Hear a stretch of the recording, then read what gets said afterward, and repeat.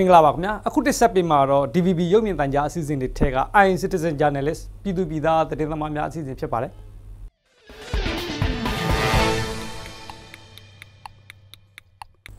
အခုတစ်ဆက်ပေးမယ့်သတင်းကတော့ညောင်ဦးခရိုင်ငတရောက်မြို့မြနန္ဒတောက်တုံရေကန်အမြန်ဆုံးပြင်ဆင်ရန်အတွက်အလှူငွေလိုအပ်နေတဲ့အကြောင်းပြောဆိုထားတဲ့သတင်းရုပ်သံပါခင်ဗျာဒီသတင်းတော့ ICJ ကိုလင်းကပေးပို့ထားပါတယ်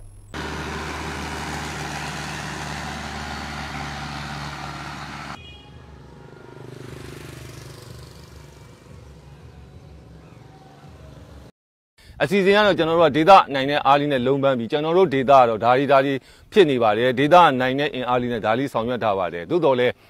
ကြံတဲ့ဟာတွေကတော့ဒေတာအားနဲ့မနိုင်လို့ပါဒါလေးကတော့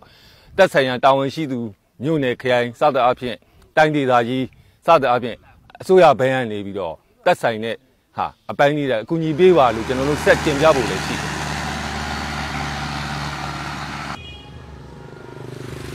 ဒီဘောင်းနေ ဖြစ်နေတာတွေနဲ့ဒီကြောက်စီလုံးမှန်နဲ့တော့ရေကန်တွေလိုမျိုးလုံးမယ်ဆိုကျွန်တော်တို့ပြည်သူအားနဲ့ကမနိုင်ဘူးမနိုင်တော့ဌာနအနေနဲ့ကတော့ကျွန်တော်တို့တိုင်းဆိုရဘတ်ဂျက်ပဲဖြစ်ဖြစ်ပြောင်းစုဘတ်ဂျက်ပဲဖြစ်ဖြစ်တော့တင်ပြပေးဖို့ဆိုပြီးကော်မတီတွေနဲ့ကျွန်တော်တို့ဒီမှာဆိုရင်လည်းဆွေးနွေးဘူးတယ်တော့တင်ပြပေးမယ်လို့လည်းပြောပါတယ်ဒါပေမဲ့ကျွန်တော်တို့ကဒုံတိုင်းနဲ့အစိုးရဘတ်ဂျက်ဆိုတာတော့မရဘူးဒါပေမဲ့ကျွန်တော်တို့ရဲ့နယ်ကကြတော့ဒီကန်ကြီးကတနည်းကျွန်တော်တို့ကရေဝင်သွားလိုက်ရင်အနည်းဆုံး၄-၅နှစ်လောက်ကကျွန်တော်တို့ကပြုပြင်လို့မရဘူးပြုပြင်လို့မရတော့ကျွန်တော်တို့ကသူတို့ရဲ့ တိုင်းဆိုရဘတ်ဂျက်ပဲဖြစ်ဖြစ်ပြည်အောင်စုဆိုရဘတ်ဂျက်ပဲဖြစ်ဖြစ်ကျွန်တော်တို့ကစောင့်နေလို့မရဘူးကျွန်တော်တို့ကဒီချိန်လေးပဲခွန်ကောင်းယူပြီးတော့ရတဲ့တိုင်းဆိုရတကယ်လို့ပေးလာတဲ့ရတဲ့အချိန်ကျရင်တော့တပည့်နီလန်နဲ့တမျိုးပေါ့နော်ပြန်ပြီးတော့ကျွန်တော်တို့ကဆောင်ရွက်ပါပါအခုချိန်ကတော့ကျွန်တော်တို့ကရေမရှိတဲ့အချိန်ကိုအားပြုပြီးတော့လုပ်ငန်းဆောင်ရတာဖြစ်တဲ့အတွက်ဒီချိန်မှာတော့ကျွန်တော်တို့ရဲ့ပြည်သူတွေရဲ့အားနဲ့ဒီကော်မတီရဲ့စွမ်းဆောင်ချက်တွေနဲ့ရရှိတဲ့အလူငွေတွေပဲအားလုံးတာယာယာယာလှလှပပနဲ့ရေဝင်ကောင်းမှုတွေအားလုံးကတော့ဆောင်ရွက်နေမှာပါ အရေးပေါ်လိုအပ်သုံးဖို့10သိန်းရာထားပြီးတော့ကျွန်တော်တို့30လေးနဲ့ပဲလုံးပန်းနေရတယ်။အဲ့30လေးနဲ့လုံးပန်းမဲ့အစီအစဉ်ကိုကျွန်တော်တို့အခုဒီနေ့ညနေမှာကျွန်တော်တို့10ရန်တရားရောက်ပါမယ်28ရက်နေ့ညနေမနေ့ပြန်29ရက်နေ့မနေ့ပန်းနေစပြီးတော့ကျွန်တော်တို့ဒီကန်ထဲမှာဒေတာကန်အားကရတဲ့အလှူတော်ငွေ30ကျော်တဲ့ကနေပြီးတော့တာချင်းတချင်းလင်4300ကျန်လုံးနဲ့ကျွန်တော်တို့တူဖို့ဆောင်ရွက်သွားမှာဖြစ်ပါတယ်။ဒါကျွန်တော်တို့ဒေတာနိုင်တဲ့အားနဲ့ပေါ့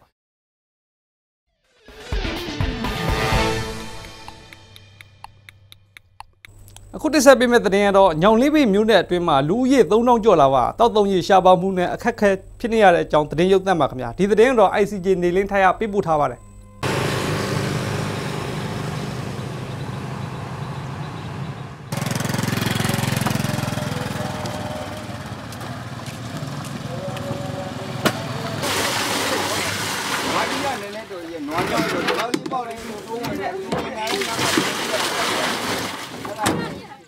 ရေကတော့အခုဒီနားမှာဆိုတော့ကျွန်တော်တို့ကစောပိုင်းတော့ဒီကျွန်တော်တို့ပိုင်းတစ်ပိုင်းနဲ့ပေါ့ဆိုစောပိုင်းရသည်မှာတော့ပိုင်းဒီရေနဲ့ရှားတာနဲ့ဒီနဲ့ရွာရဲလာပြီးတော့ဒီမှာစုပြီးတော့ဗမော်တော့ပေါ့တောင်ပိုင်းမြောက်ပိုင်းပေါ့အဲ့လိုရွာရဲဒီမှာလာပြီးတော့စောပိုင်းတော့သူတို့ဟိုဘက်မှာလည်းခီးတယ်လေဟိုဘက်မြောက်ပိုင်းကျွန်တော်တို့တောင်ပိုင်းကဟိုဘက်မြောက်ပိုင်းမှာလည်းကန်ရှိတယ်အဲ့ကန်တို့စောပိုင်းတော့ကတော့သူတို့ကန်တယ်သူတို့ခတ်တယ်ပေါ့အခုရေလဲပြတ်သွားတယ်ပြတ်သွားတော့ဒီကန်မလာခတ်တယ်ဟိုဘက်ကန်လည်းဗမော်တော့အဲ့တိုင်းပဲပေါ့သူတို့ရှိမှလည်းကန်လေးတူးထားတယ်သူတို့ကန်ကျွန်တော်တို့ကန်လောက်ကြီးမနေ့တော့ ဒီမှာလာပြီးစုခတ်ကြတာပေါ့အဓိကတော့ဟိုတဲ့ပေါ့သူတို့ဒီနားရွာရှိတဲ့ရွာတွေအကုန်လုံးကရင်ငံနေရွေးလေသူ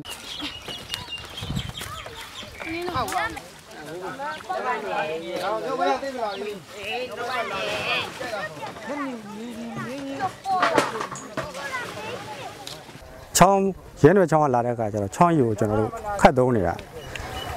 နောက်ပြီးခဲ့တဲ့6နှစ်9နှစ်ကြာလောက်ကနေပြီးတော့ကျွန်တော်တို့လမ်းမတော် လမ်းကိုလှုပ်လိုက်တဲ့နေရာမှာတောက်ရေကန်ရဲ့အခက်အခဲတွေတောက်ရေရဲ့အခက်အခဲတွေကိုတွားတိုးပြီး။ဘာဖြစ်လို့တွားတိုးလဲဆိုတော့တပတ်တပိုင်းတရွာကိစ္စဆိုရင်တော့ကိစ္စမရှိဘူးပေါ့။သို့တော့ဒါပေမဲ့အပိုင်းပိုင်းရဲရဲတွေကနေတော့ဖြစ်နေတဲ့အနေထားနေတယ်နဲ့ကျွန်တော်တို့မှာဒီတောက်ရေကန်ရဲ့တောက်ရေချိုပေါ့အဓိကသုံးရတာတာရင်နာရီအစနောက်ရေချိုတောက်ရေသုံးရရမှာအစကျွန်တော်တို့အခက်အခဲတွေအများကြီးတိုးနေတယ်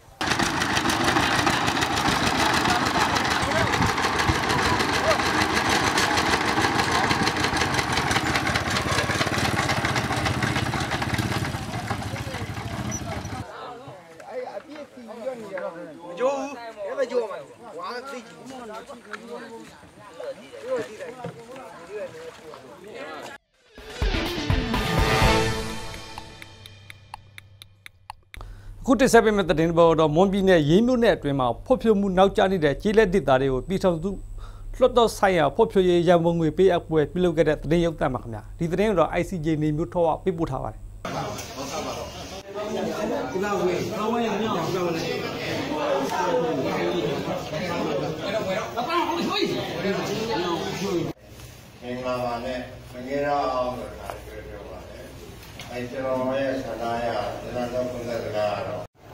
အခုကအခုလုံနေကျွန်တော်တို့လုံနေတာကဒီပြည်တော်စုလွတ်တော်ဖွံ့ဖြိုးရေးရန်ပုံငွေသိန်းတစ်ထောင်နဲ့ကနေပြီးတော့ဒီမြို့နယ်မှာလိုတဲ့ဟာတွေ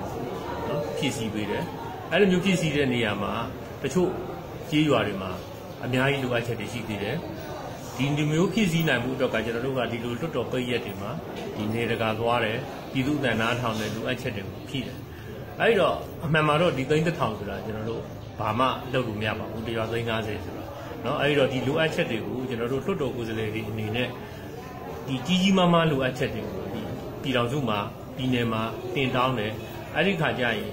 ကောင်းတာကတော့ကျွန်တော်တို့ကိုယ်စားလှယ်တွေတင်တောင်းတဲ့ဟာတွေဒီဒေသမှာအမှန်တကယ်လိုအပ်ချက်တွေဖြစ်တဲ့အတွက်ကြောင့် တက်ဆိုင်ရာအစိုးရအဖွဲ့တွေအနေနဲ့နော်အသေးချာစဉ်းစားပြီးတော့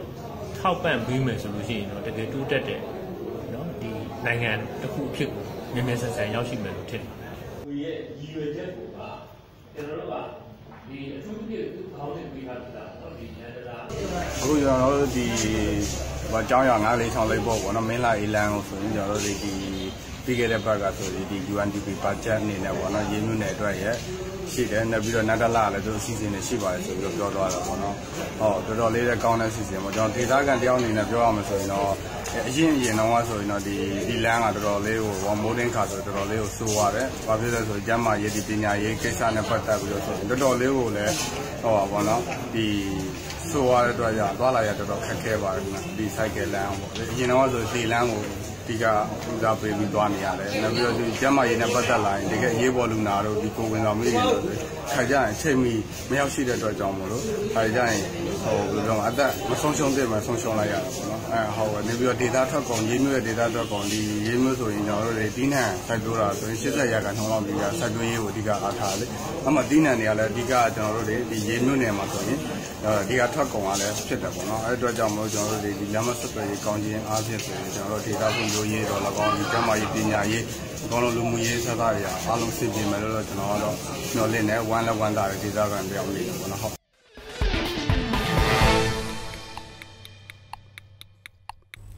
အခုတစ်ဆက်ပေးမဲ့သတင်းကတော့ကချင်ပြည်နယ်မိုးညင်းမြို့ရှိတစ်တော်ရေးရဝန်ကြီးနဲ့မိုးညင်း CF ကော်မတီဝင်တွေတွဲဆုံပွဲကျင်းပခဲ့တဲ့သတင်းရုပ်သံပါခင်ဗျာဒီသတင်းကတော့ ICJ ခင်လိုင်းညောပေးပို့ထားပါတယ်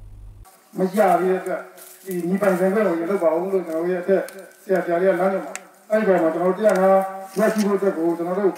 2016ပေါ့2016ဒီ6လပိုင်းမှာနေ့ရက်6လပိုင်းမှာကျွန်တော်တို့ဒီနေ့ဒီဒီနေ့ဆိုတာဆန်ကိုယ်တိုင်သွားမှရှောက်ထားရပါ ဒါပေမဲ့ကျွန်တော်တို့ဒီကာလာလေးမှာလည်းကြောင်းလဲကာလာလေးဖြစ်နေတော့အာမအကြောင်းမထူးတာတဲ့အတွက်ကျွန်တော်တို့လုပ်ခွင့်မရရပါဘူးအဲ့လေ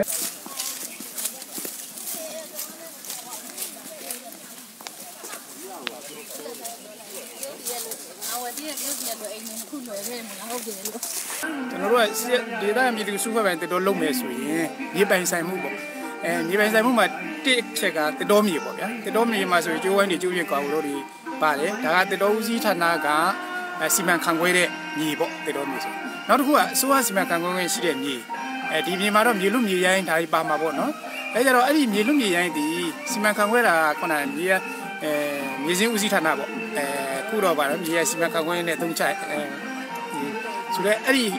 မြေစင်းဦးစီးဌာနနဲ့အထွေထွေအုပ်ချုပ်ရေးဦးစီးဌာနဒီဌာနနှစ်ခုကဆောင်ရွက်တာဖြစ်ပါတယ်ဆိုတော့ကျွန်တော်တို့တတော်မြေမှာလာလျှောက်မယ်ဆိုရင်အရာကျွန်တော်တို့ညွှန်ကြားရေးမှူးချုပ်က တက်ဆိုင်ရာခရိုင်လက်ထောက်ညွှန်ကြားရေးမှူးလုပ်ပဲမပေးထားပါဘူးအဲဥပမာကျွန်တော်တို့ဒေသပြည်သူစုဖွဲ့ပိုင်းတတော်လျှောက်မယ်လျှောက်မယ်ဆိုရင်သူကလျှောက်မယ်အဆင့်လေးတွေတော့ရှိပါတယ်ဒါတော့အဆင့်ကို10ဆင့်ပေါ့နော်ထုတ်လို့30တဲ့အဆင့်ဒီ10ဆင့်နဲ့ခုနလုံထုံးလို့ဒီသတ်မှတ်ထားပါတယ်လျှောက်မယ်ဆိုရင်လက်ထောက်ညွှန်ကြားရေးမှူးကတတော်မြေမှာဆိုရင်သူ့ရဲ့ခွင့်စင်းတည်မှုချက်နောက်ကစီမံချက်ရွေးဆဲတဲ့အပေါ်မှာအဲ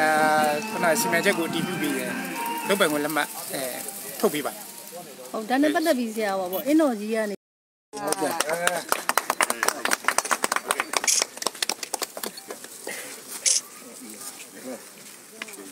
ခိုင်မြဲပါဗျာဟုတ်လား